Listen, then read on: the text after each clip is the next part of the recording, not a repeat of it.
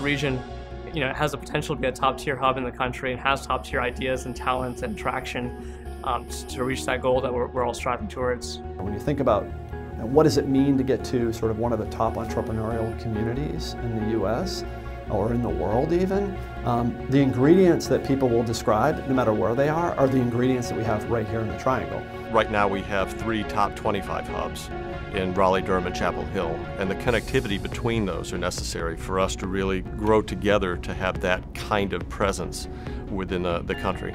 I think it's going to require us seeing a few more exits to really put ourselves on the map. I think it takes time. I think it takes more exits to occur throughout the region. It takes more capital. Heard a lot of discussion today about the need for more inclusive entrepreneurship here.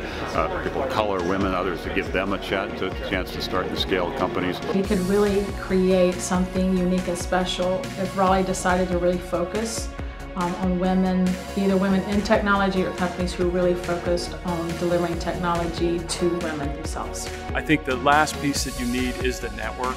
And by that I mean all those pieces need to start to communicate and work together and network with each other so that you get what we call a network effect, where the sum of the parts is greater than the whole. We have dedicated ourselves to making some additional investments in data collection, in investor relations, and in public relations to tell the stories of these companies outside in the world. And in that way, we think North Carolina is going to emerge as the top entrepreneurial community that everybody wants to be a part of. I wouldn't try to build a company anywhere else in the United States at all. This is hands down the best place to build one.